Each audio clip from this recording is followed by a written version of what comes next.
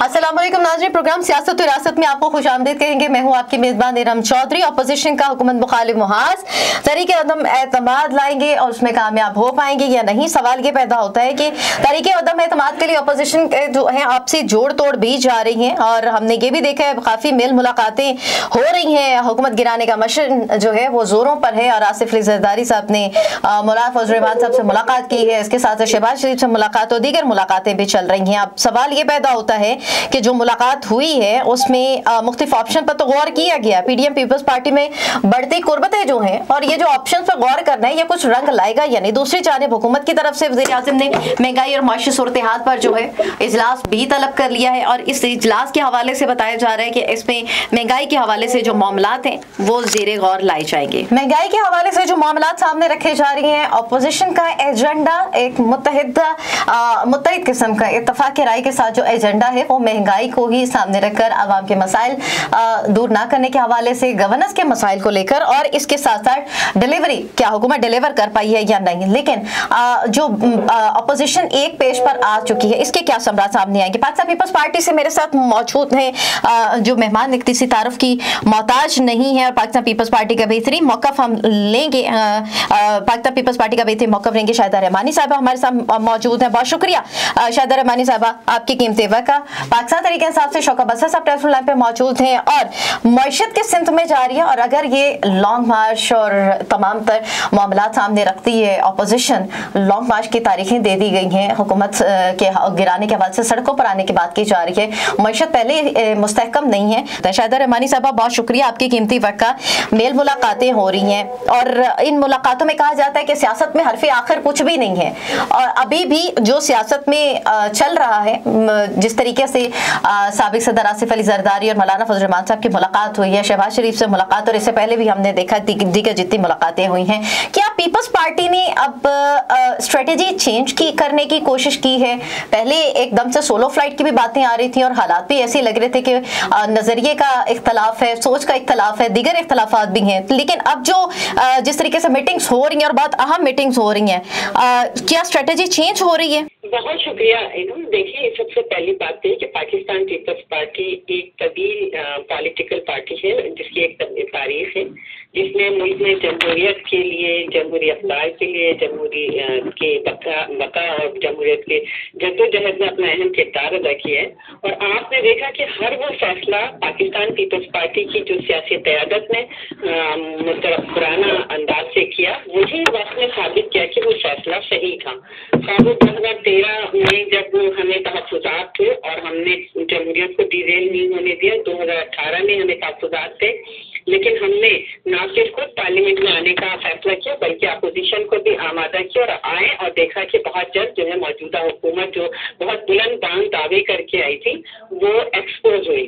उसके बाद जब हमारी लास्ट ईयर ला, एक पीडीएम बनी और उसमें पीपल्स पार्टी ने अपना भरपूर किरदार अदा किया, पूरे मुल्क में बड़े बड़े जलसे जुलूस, मुजाहरे सब कुछ हुए लेकिन एक वक्त ऐसा है कि जब लॉन्ग मार्च की तैयारियाँ आखिरी मराही में थी तो हमें तो न जाने कि कौन सी साजिशों का वो शिकार हुआ कि हमें कहा गया कि जो इस्तीफे दें लेकिन आपने देखा कि पीपल्स पार्टी ने असूली मौके को इख्तियार किया और कहा कि पार्लिमानी तरह से जमहूरियत को डिवेल नहीं होने दिया जाएगा और हम इस्तीफा जो है वो हमारा ऑप्शन नहीं है। इस वक्त जो लॉन्ग मार्च है उस पर बात करें और पीपल्स पार्टी के खिलाफ बहुत बातें हैं लेकिन आपने देखा कि वक्त ने ये भी साबित किया कि ना तो अपोजिशन पीडीएम से इस्तीफे आए हम्म। और उसी मौके की तायद हुई कि जो इन हाउस चेंजिंग की भी बातें हुई लॉन्ग मार्च की भी हुई पीपल्स पार्टी की लीडरशिप ने ये भी बर वक्त फैसला किया कि जब महँगाई का सुनामी, तबाही के बहाने पे मुल्क को पहुँचा चुका है तो उस वक्त हमने फैसला किया जो आईएमएफ के, को पास जो है स्टेट बैंक या दीगर इदारों को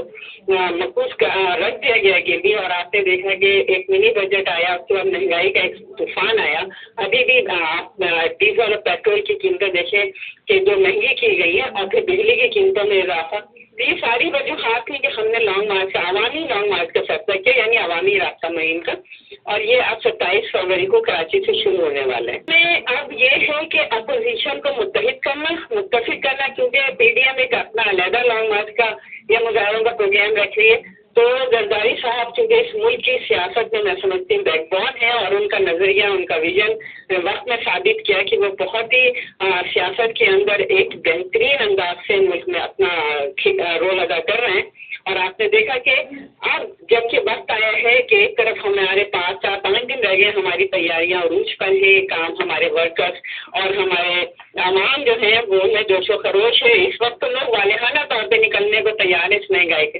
तो उन्होंने ये कोशिश की और सियासत में बिल्कुल कोई हर्षा आपकी नहीं कि तमाम पॉलिटिकल जमातों को जो अपोजिशन की उनको मुतहद मुतफिक किए जाए ठीक है, लेकिन सवाल मेरा फिर भी वहीं पर मौजूद है। आपने लॉन्ग मार्च की बात की, सत्ताईस फरवरी को long march Pakistan Peoples Party शुरू करने जा रही है। जब एजेंडा एक है, मकसद एक है पीडीएम का भी और पाकिस्तान पीपल्स पार्टी का भी तो फिर अलग से लॉन्ग मार्चेस क्यों? क्या यह पैगाम देना है कि ये सिर्फ़ जाहरी तौर पर सियासी बैठकें लग रही हैं? हर एक का अपना ही जो है वो तर्ज सियासत है हर पार्टी का। नहीं, देखिए, आपने अभी पहले भी अर्ज़ किया कि पीपल्स पार्टी मैंने भी अर्ज़ किया कि पीपल्स पार्टी का जो मौकफ था, वो हमेशा हमने अपनी अलहदा सियासी जमात है नज़रिया है अपना मंशूर है आइडियोलॉजी है, और जबकि पीपल्स पार्टी को अलहदा कर दिया गया। और पीपल्स पार्टी अपना एक मनसूबा जो अवामी फलाही मुल्क में जमहूरी इकदाम और ये सारे जो पार्लियामेंट की बालादस्ती और इदारों को आज़ादी खुद मुख्तारी लेकिन देखिए सारी चीज़ें सब कर ली गई। तो पीपल्स पार्टी तो अपना एक नज़रिया लेके मशहूर लेके चल रही है अवाम के साथ, और इसीलिए हमने अवामी लॉन्ग मार्च रखा। लेकिन कोशिश ये है कि क्योंकि हमारा और पीडीएम में शामिल जमातों का अगर विजन एक है और हम ये चाहते हैं कि आवाम के लिए निकले तो हमारी ये कोशिश मैं समझती इसको कोई गलत रंग ना दिया जाए।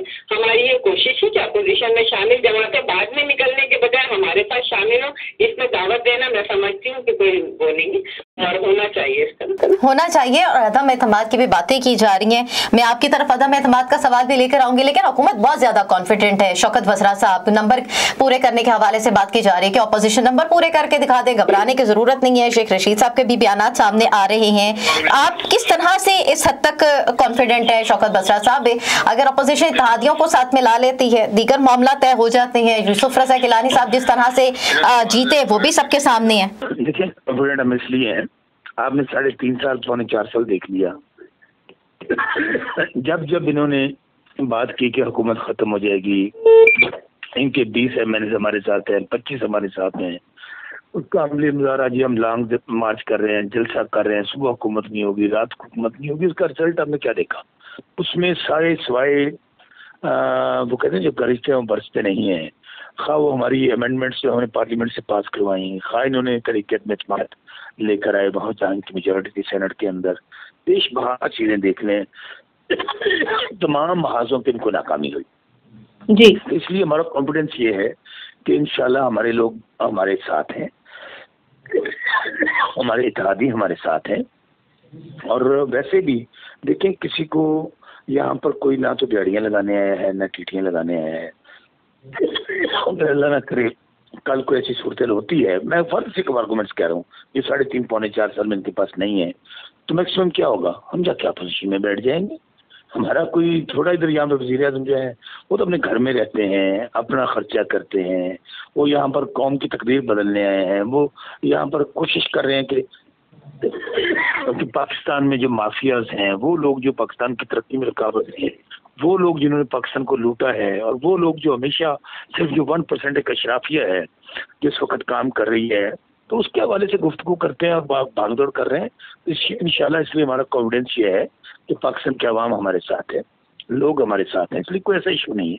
ठीक है, आपने कहा कि लोग साथ हैं। मेरे साथ ही हाँ जी, मेरे साथ ही मौजूद रहिएगा, क्योंकि ये तमाम तर सूरत हाल जिस तरफ़ इशारा कर रही है, जिस तरफ़ जा रही है, हुकूमत को लेकर जो अपोजिशन का एजेंडा है, वो एक यही एजेंडा है कि महँगाई को कंट्रोल नहीं किया जा सका, मसाइल चूँकि तू हैं, हुकूमत जो है वो डिलीवर नहीं कर सकी है। किस तरीके से हुकूमत डिलीवर कर पाएगी, किस तरह से मुमकिन हो सकेगा, हुकूमत की डिलीवरी के हवाले से जो बात की जा सकती है, और जिस तरीके से अपोजिशन बात कर रही है तरीके अदम एतमाद को सामने लाने के हवाले से कि तरीके अदम एतमाद ला के वो कामयाब हो सकेगी। ये आ, कैसे मुमकिन हो सकेगा? नंबर के पूरे करने के हवाले से जो है अपोजिशन भी उतनी ही कॉन्फिडेंट है जितनी हुकूमत कॉन्फिडेंट है। तो कौन कामयाब हो सकेगा? नून लीग का मौकब जानेंगे। पाकिस्तान तरीके इंसाफ के रहनुमा राना एहसान अफजल साहब हमारे साथ मौजूद है। साहब बहुत शुक्रिया आपके कीमती वक्त का। हुकूमत गिराने का मिशन जो है वो जारी है। मेल मुलाकातें अपने अरूज पर हैं। पंजाब में तो काफ़ी गठ बना हुआ मेल मुलाकातों के हवाले से और इतिहादियों से भी मुलाकात हो रही है। अपोजिशन के दीगर लो, लोगों से भी मुलाकातें जा रही हैं। सबसे पहले आपसे ये जानना चाहेंगे कि पीपल्स पार्टी की सोलो फ़्लाइट थी फिर एकदम से मुलाकातें भी आप लोगों की शुरू हो गई और जो अख्तलाफात नज़रिए का ही होता है लेकिन अब एकदम से इतना ये जो गठजोड़ हो रहा है ये जो कुर्बतें बढ़ रही हैं आप लोग समझ सकते हैं कि ये कुर्बतें हुकूमत को घर भेजने के हवाले से आपकी कामयाब हो सकेंगी बिस्मिल्लाह सबसे पहले तो जो पार्लियामानी जमहूरियत होती है, उसके अंदर पार्टीज़ का कुछ एजेंडों पे जो है इतफाक हो जाता है और बहुत सारे एजेंडों पे जो है इख्तलाफ रहता है। हम दो मुख्तलिफ़ पार्टीज़ हैं और हम हरीफ पार्टीज़ हैं और जब भी इलेक्शन होंगे तो हम एक दूसरे के खिलाफ लड़ेंगे इलेक्शन आजकल जिनको आप कह रही हैं कि कुर्बतें बढ़ गई हैं, वो एक एजेंडा एक पॉइंट ऑफ़ व्यू पे हम इकट्ठे हैं और वो ये है कि हमें इस नाअहल नकमी और करप्ट तरीन हुकूमत से निजात हासिल करनी है। अवाम की फलाह के लिए, बेहतरी के लिए, अवाम जो महँगाई में मुश्किल में और करप्शन का शिकार है, उसको हमने जो है आसानी उसके लिए पैदा करनी क्योंकि हम समझते हैं कि जितना टाइम इस हुकूमत को और मिलेगा, वो एक आम आदमी के लिए जो है मुश्किल में इजाफा करेगा। तो ये बुनियादी जो है वो इतफाक की वजह है। और मैं समझता हूँ कि यहाँ बहुत सारी चीज़ें हमें कही जाती हैं कि अब हम वो जो पी एम एल टू है, जो हमारे मुखालिफ थे हम उनके पास भी जा रहे हैं। तो ये सियासत का हिस्सा होती है और हम समझते हैं कि यही मेन वजह है कि अब हम इकट्ठे हो रहे हैं अपोजिशन समझती है कि अब इस हुकूमत को और वक्त नहीं देना। देखिए, जब अजम समाज की बात आती है तो उसमें हम उसको कामयाब करने के लिए हर हरबा इस्तेमाल करेंगे। जिसके अंदर एक ये जो है वो रास्ता ये होता है कि जो भी स्टेक होल्डर्स हैं, जिसमें हुकूमत के कोलिशन पार्टनर्स भी शामिल है पी एम एल क्यू है या एम क्यू एम है, हम उनके पास भी गए, हम उनको भी समझा रहे हैं, वो हमारे साथ रबते में हैं, हम उनको एक दफ़ा अगर वो कन्विंस नहीं होते, फिर दूसरी दफ़ा हमने उनको कन्विंस इसके अलावा हुकूमत की अपनी जमात के अंदर, अपनी सफ़ों के अंदर बेनतहाशा दर्जनों, बल्कि चौबीस ऐसे मेंबरान हैं जो हमारे साथ रबते में है, उनकी ये ख्वाहिश है कि वो हमारी पार्टी या पीपल्स पार्टी के जो है वो टिकट पे अगला इलेक्शन लड़े और वो चाहते हैं कि ये उनको लगता है कि जो इलेक्टोरल पॉलिटिक्स है, जो इलेक्शन लड़ने का जो मामला है, वो पीटीआई के टिकट पे नहीं लड़ना चाहते क्योंकि उनको वाजे नज़र आ रहा है कि शिकस्त पजीर होंगे। तो वो लोग भी हमारे साथ रबते में हैं, जो जेपीटी ग्रुप है, उसके साथ भी हमारा रबता है तो हम तो हर हरबा इस्तेमाल करेंगे हुकूमत को जो है घर भेजने के लिए और नो कॉन्फिडेंस को कामयाब करने के लिए।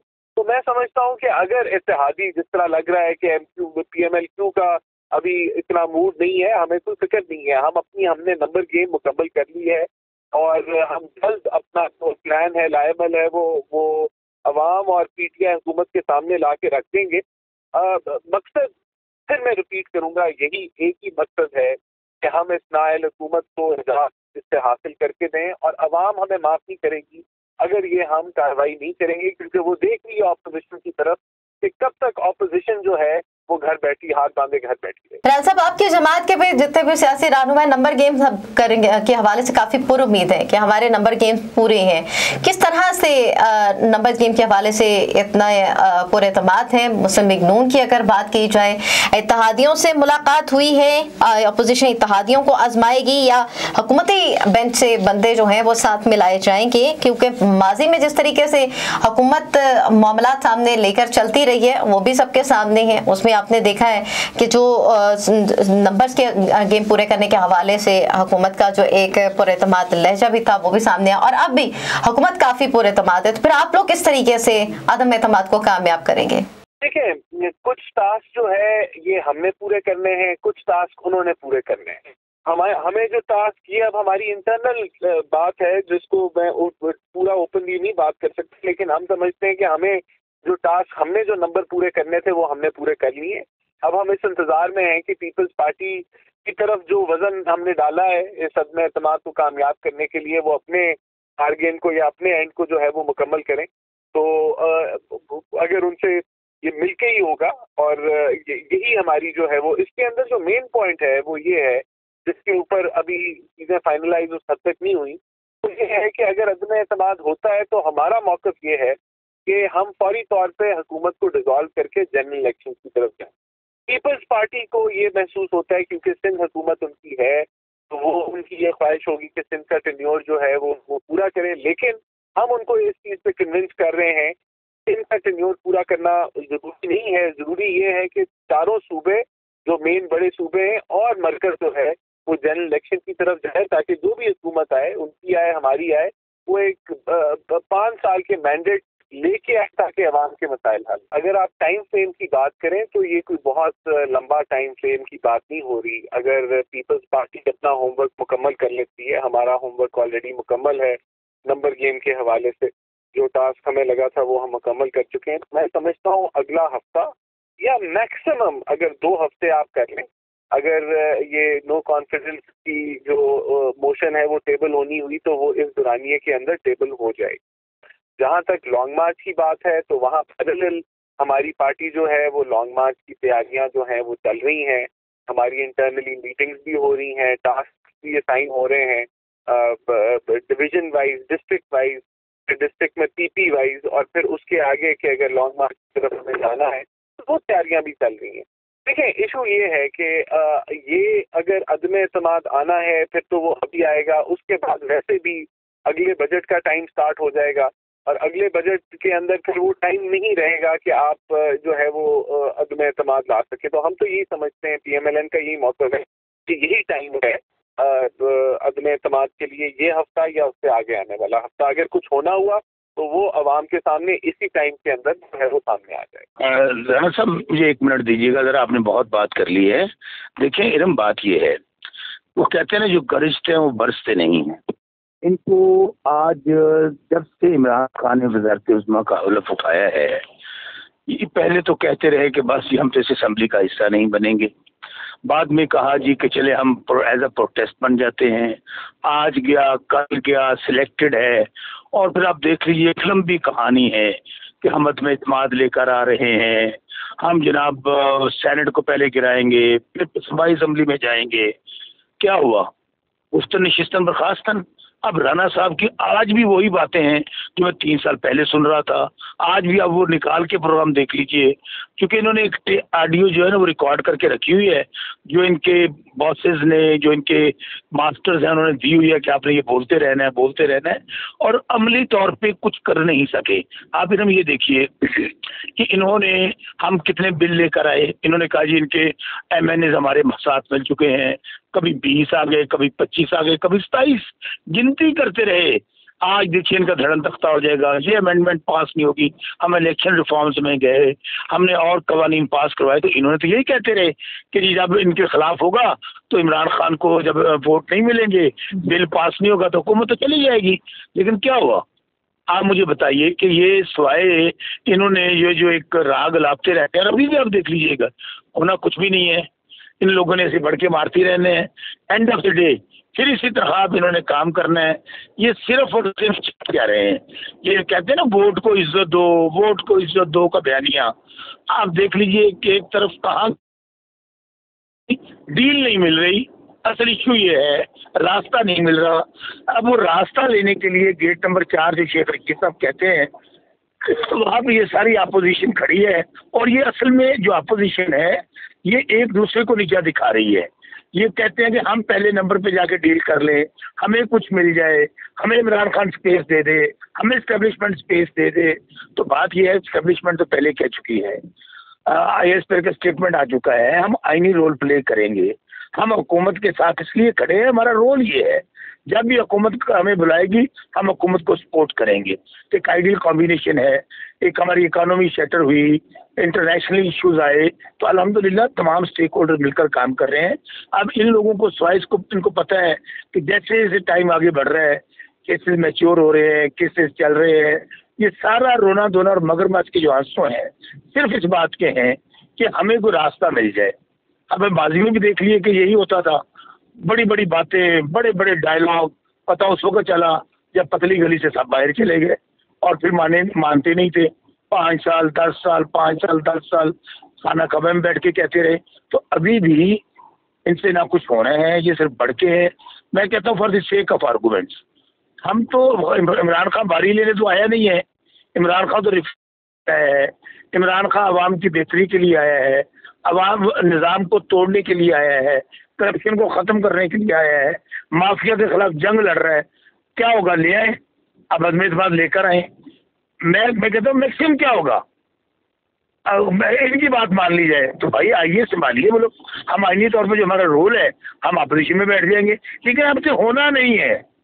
क्योंकि ये ट्रैक रिकॉर्ड आपका ये बताता है कि ये अपोजिशन अपोजिशन के लिए काफ़ी है। ऐसी अपोजिशन तो हर हुकूमत को मिले, जो हमें मिली है। हर दो महीने बाद आपस में लड़ पड़ते हैं, क्योंकि कोई नज़रिया नहीं है, कोई सोच नहीं है, कोई ये नहीं है कि आप पब्लिक के लिए निकले हैं, आवाम की बेहतरी के लिए निकले हैं अवाम को सहूलियात देने के लिए निकले हैं, उनके मसाइल के लिए निकले हैं, बल्कि अंडर हैंड क्या है, आप जब देख लीजिए नए वाले मामला चल रहे थे, उन्होंने क्या जी, सब छोड़ दो, ये ये अमेंडमेंट पास कर दो, ये चीज़ें निकाल दो, ताकि हमें एनआरओ मिल जाए। उस वक्त अवाम कहाँ गई थी? तो बात यह है, खान, आज भी आपको बता रहा हूँ, कल भी बता रहा हूँ। खान हुकूमत में रहे या ना रहे, खान कोई कंप्रोमाइज नहीं करेगा, खान किसी किस्म की स्पेस इस मामले पे नहीं देगा कि मैं आँखें बंद कर लूँ करप्शन होती रहे तो मैं कहूँगा ठीक है। उसको हुकूमत छोड़नी मकसूद है, हुकूमत छोड़ के बाहर आ जाएगा, लेकिन खान किसी किस्म के कंप्रोमाइज नहीं करेगा। तो इसलिए एंड ऑफ़ द डे इन्होंने यही करते रहना है इनशाला अभी मई में इलेक्शन आ रहे हैं, बल्दियाती, ये वो लड़ेंगे उसके बाद फिर अगला फ़ेज़ आएगा। उस वक्त तक जनरल इलेक्शन आएगा। देखेंगे आवाम क्या फैसला देती है। अपोजिशन में कंफ्यूजन अभी तक मौजूद है। क्या सराइया ये भी हैं और सियासी दर्जा तो ज़रूर बढ़ता चला जा रहा है, लेकिन ना इस्तीफों के मामले पर मुतफिक हो पाए अपोजिशन। अदम एतमाद के हवाले से अभी तक कोई टाइम नहीं दिया गया डेट नहीं फाइनल की गई। और इसके साथ साथ लॉन्ग मार्च भी पीपल्स पार्टी अपना लॉन्ग मार्च करने जा रही है। सत्ताईस फरवरी से शुरू और पीडीएम का तेईस मार्च से शुरू होना है। तो डिफरेंस अभी भी आप लोगों का सामने सामने आ रहा है। एक पेज और एक स्टेज की बात की जा रही थी तो जब तक आप तमाम जमातें एक पेज और एक स्टेज पर नहीं होंगी तो जो फिर फैक्ट्स एंड फिगर भी जो सामने रखे जा रहे हैं इस्तीफों अदम एतमाद लॉन्ग मार्चेस को लेकर, वो भी, उसमें भी कंट्राडिक्शन है। तो फिर कैसे आप लोग अपना टारगेट अचीव कर सकेंगे, अपना एजेंडा अपने मकसद में कामयाब हो सके? आप इनसे पूछेंगे, ये जो जब ये अपोजिशन में थे तो ये कहते थे, इमरान खान के अपने अल्फाज हैं। कि वो कहते थे कि जी मैं, मैं मुझसे बड़ा मुनाफिक कोई नहीं होगा अगर एम क्यू एम को और काफ लीग को मैं अपने साथ मिला के हुकूमत बनाऊँ। और आपने देखा कि पीपल्स पार्टी को सबसे ज़्यादा टफ टाइम जो है वो नून लीग ने हमेशा दिया। केसेस झूठे बनाए। फिर ये अलग बात है कि जरदाई साहब के सियासी बसीरत से मातरफ होके ना सिर्फ़ उन्होंने पाँव पकड़े बल्कि अपनी तमाम गुजशा गलतियों को की माफ़ी मांगी। अब इस वक्त जबकि मुल्क की मीशत का इतना बुरा हाल है डॉलर एक सौ पाँच का था, आज एक सौ अस्सी का पहुँच गया है। पेट्रोल जो पिछहत्तर रुपए लीटर था, आज एक सौ साठ रुपए पर पहुँच चुका है। टोटल कर्जा जो पच्चीस हज़ार अरब था अब इक्यावन हज़ार अरब पे पहुँच गया है और सोना जो इक्यावन हज़ार का तोला था, आज एक लाख पच्चीस हज़ार पे पहुँच गया है। हत्या के सीमेंट सरिये, सरिया सत्तर हज़ार का टन था, आज एक लाख पचहत्तर हज़ार टन है क्या? इसीलिए हमने तब्दीली के लोगों ने वोट दिए थे, घी हंड्रेड रुपीज़ किलो था, आज जो है चार सौ दस रुपए पे पहुँच गया है। आटा, चीनी किस चीज़ का बताऊँ? वो दवाएँ जो चार चार, छह छह रुपए की टैबलेट आती थी, आज वो पचास पचास रुपए की आ रही है। दवाओं पे चार चार सौ गुना जो है वो बढ़ गया। तो इसलिए ये तब्दीली थी इसके ख्वाब दिखाए थे। आप ये बताएँ कि इनके जो ए एटीएम पाफिया है उन्होंने इस मुल्क को तबाह कर दिया। आप इनके मिनिस्टर्स की कैबिनेट की उठा के देखें कि वो क्या, क्या ये इनके जो असल जिन जद्दोजहद के साथी थे जिसको इमरान खान साहब कहते थे कि जी बाईस साल है मेरी जद्दोजहद। क्या उनको वो मंत्री मिली जो शरीक सफ़र थे? किनको उठा के दिया जो 2002 से 8 तक मुशरफ कैबिनेट में थे, फिर पीपल्स पार्टी कैबिनेट में थे, फिर वो नवाज़ लीग के, कैबिनेट में थे। आज क्या उनको नहीं नवाजा किया? क्या वो क्या वो जो है मुस्तफ़ नहीं हो रहे? इनके घर महलात कैसे चल रहे हैं? बनी गाला के महलात कैसे चल रहे हैं? आपने चोर डाकू चोर डाकू सबको कह डाला। आप ये बताएँ कि डाकू तो आज की बात है। लोगों ने कहा अगर वो चोर थे तो उस वक्त तो महँगाई नहीं थी। उस वक्त तो मुल्क की मीशत का ये सत्यानाश नहीं था। आज आप उन लोगों से जो जिन्होंने इस मुल्क में लॉ एंड ऑर्डर की जो सिचुएशन की जो हमारे मासूम बच्चों को से लेकर सिविलियंस को हज़ारों की तादाद में आ, मारा कत्ले आम किया बम ब्लास्ट किया आज आप उनसे मुजाकर कर सकते हैं, लेकिन मुहिब वतन उन अपोजिशन से जिसने इस मुल्क में जमहूरियत के लिए अपनी जानें दी, कोड़े खाए फांसियाँ आप उनको डाकू डाकू कहते रहते हैं आपसे बड़ा डाकू कौन होगा? आप खुद बताएँ कि इन्होंने किस तरीके से बेदरेग अंदाज से मुल्क को लूटा। अभी मैंने चंद एदाद शुमार आपके सामने पेश किए। यही नहीं फॉरेन पॉलिसी में आपने क्या हाल किया कि आज पाकिस्तान दुनिया में अकेला खड़ा है? ज़रात तबाह हो गई है। आज जो है किसान जो है वो उसको यूरिया नहीं मिल रही है। सीज़न निकल गया। और आप अपनी तरक्की के दावे कहते हैं आप आप कदगन लगा रहे हैं आ, मीडिया पर आज़ादी इजहार राय पर। आप जिस मीडिया के थ्रू इस इकतदार में पहुँचे आज मीडिया का गला घोट रहे हैं। तो आज बदतरीन आमरिया जो है इस मुल्क में नाफिज की गई है। और आप जो है बारी बारी कहते रहे कहते रहे और इसी के अंदर पूरे मुल्क को लूट के खा गए। तो इनसे क्या उम्मीद रख सकते हैं? जागे तरीन के हवाले से भी बातें की जा रही हैं। आप समझ सकती हैं कि जो तरीन ग्रुप को मिलाने की बात की जा रही है और अपोजिशन जो है, वो मेल मुलाकातें इस सूरत हाल में भी चल कर कर रही है। अब जो मामला थे वफाकी हुकूमत के, जो मसाइल हैं, जो अपोजिशन की सूरत हाल है, वो सबके सामने है। तमाम तर मसाइल के हवाले से बताया जाता है कि मीशत यहाँ पे स्टैंड करती है, दीगर मामला यहाँ पे स्टैंड करते हैं। लेकिन सवाल ये पैदा होता है कि अगर ये मामला नहीं हल हो पाते अपोजिशन एक जगह पे दोबारा पे नहीं इकट्ठ हो पाते, ये, यही कहना है हुकूमत वज्रा का कि ये मौसमियाती इनका सिलसिला होता है। ये तमाम तर जो अपोजिशन है, ये सियासत कुछ कुछ अरसे बाद इनको याद आती है और ये सब इकट्ठे होकर बैठ जाती है। हुकूमत का कुछ नहीं बिगाड़ सकते। हुकूमत अपनी मुदत पूरी करके जाएगी। देखिए जो जहांगीर तरीन ग्रुप की का जो इशू है तो उनके पास मेंबर हैं। तो मेंबर हमारे साथ रबते में भी हैं। उनकी एक ही ख्वाहिश है। उनकी ये ख्वाहिश है कि हमें इंश्योर किया जाए कि आप हमें अगले इलेक्शन में पीएमएलएन का टिकट देंगे। तो इस हद तक भी तैयार हैं कुछ मेंबर तो वो कहते हैं कि हमारे से आपने अभी इस्तीफे लेने हैं तो हम इस्तीफे देने के लिए तैयार हैं। तो वो जो कार्ड है, वो मुमकिन तौर पर ज़रूर इस्तेमाल होएगा जहांगीर तरीन ग्रुप का। उसके लिए, हमारे लिए ये मुश्किल फैसला ज़रूर था कि उन लोगों को जब हम एंटर करते हैं या उनके साथ टिकट की अगर मुदावत कर लेते हैं, जो हमारे पार्टी मेंबर्स जो बहुत अच्छे से हैं, उनको इसकी ज़रूर तकलीफ़ होगी और सियासी तौर पर नुकसान भी उठाना पड़ेगा क्योंकि उनकी जगह ये ये लोग आ जाएँगे। लेकिन एक बड़ी पिक्चर के तहत या पाकिस्तान के मुल्की मफाद को देखते हुए ये ये मुमकिन तौर पे ये इसकी बहुत ज़्यादा पॉसिबिलिटी है कि इसी तरह हो जाए। तो वो ग्रुप तो हमारे साथ रबते में है, वो तैयार भी है। सिर्फ़ मैंने कहा ये, मैं समझता हूँ कि ये एक फाइनल अपना मोड है, वो ये इसने पकड़ लिया है। कुछ साइड जो पीपल्स पार्टी ने पूरी करनी है, हम उसके इंतज़ार में हैं, क्योंकि हमारा होमवर्क तो मुकम्मल है, हमारी नंबर गेम पूरी है। पीपल्स पार्टी ने जो हदफ अपने लिए रखा था, हम उसके इंतज़ार में हैं कि ग्रीन सिग्नल मिले और हम फिर जो है वो अजमेर समाज की मोशन जो है वो टेबल करते हैं। जहाँ तक हुकूमत की आपने बात की, देखिए, हुकूमत जो है वो उसके जो गुजरा हैं, वो घबराहट का शिकार हैं और उसी घबराहट का शिकार जो है वो वो नज़र आता है कि मंडी बहाउद्दीन में इमरान खान साहब ने जलसा किया और उसके अंदर जिस तरह उन्होंने एक परेशानी के आलम में तकारीर की, वो उनकी घबराहट की निशानदेही बड़े अच्छे तरीके से करती हैं। इसी तरह मैं समझता हूँ कि जो इनकी अपनी अब ये आगे कोलिशन पार्टनर्स को जिनको ये मुँह नहीं लगाते थे, अब उनको ये अच्छा उनकी तारीफें भी करना शुरू हो गए हैं। अभी अपनी काबीना के अंदर तोसी की भी बातें कर रहे हैं तो हुकूमत तो हर लिहाज से एक परेशानी का शिकार है और सबसे बड़ी परेशानी का शिकार तो ये है कि दस रुपए पेट्रोल अभी महँगा किया और उसके नतीजे में जो महँगाई में और अब इजाफा आएगा और जो मुल्की मीशत है, जिस हालत में है, मैं समझता हूँ कि ये आवाम को मुश्किल के अलावा और कुछ नहीं दे पाएँगे। देखिए, अगर इकतदार के हम भूखे हो तो हम पंजाब को बहुत अच्छा पहले जो है वो ले लेते हमें अगर हम इकतदार के भूखे होते तो हमारी कोशिश होती कि हम अगर अपने अतमाद लेके आ भी जाते हैं तो हम अपना टेन्योर मुकम्मल करें जो हमें मिलता है। ये इकतदार के लिए नहीं किया जा रहा, ये पाकिस्तान की, के लिए किया जा रहा है और उसके अंदर दो तीन मेन पॉइंट्स हैं। देखें, मीशत का जिस तरह मैंने आपको बताया कि पाकिस्तान कर्जों में डूब चुका है और इन्होंने जितने कर्जे इस कम अरसे में लिए, शायद पाकिस्तान की तारीख में कभी भी ना लिए गए हों।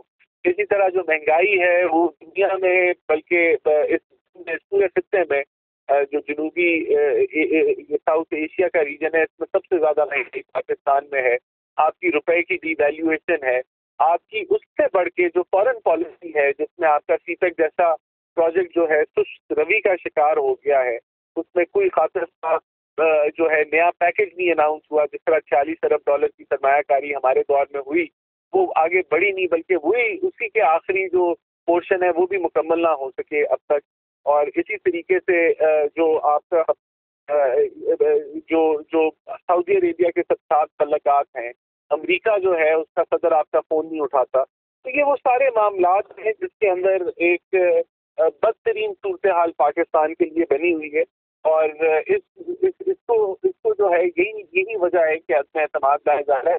तो कतई तौर पे जो है वो वो पाकिस्तान ये जो है इकतदार के लिए नहीं पाकिस्तान की बेहतरी के लिए ये सारे इकदाम किए जा रहे हैं। बहुत शुक्रिया, राना एहसान अफसर साहब हमारे साथ मौजूद थे और जिस तरीके से बात हो जा की जा रही है कि सियासत में कुछ भी मुमकिन है, लेकिन सियासी सूरत हाल में जिस तरीके से तेज़ी से गर्मा गर्मी में इजाफा हो रहा है, ये मसाइल के हल के लिए है, ये इकतदार के असूल के लिए है, ये मुफादात के लिए है, या अवाम के लिए है। ये देखना अभी बाकी है कि अवाम के साथ मुखलिस कौन है? अवाम के मसाइल के हल के लिए कौन सा जीतगी से कोशिश कर रहा है? आया कि अपोजिशन या फिर हुकूमत? जो ये कहती है कि सम्राट बाद में चल के सामने आएँगे। अभी के जो महँगाई है उसका असल जिम्मेदार है कौन? पेट्रोल प्राइसेस की कीमतों में जिस तरीके से इजाफा सामने आ, आता चला जा रहा है नेपरा ने फ्यूल प्राइस एडजस्टमेंट के मत में जो बिजली की कीमतों में इजाफा सामने रखा है।